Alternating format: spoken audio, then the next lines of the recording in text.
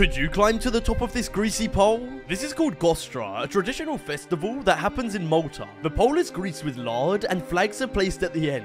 The contestants have to run up the greasy pole and try and grab one of the flags. And some seem to fall harder than others, look. But after some time, someone will finally get all the way to the end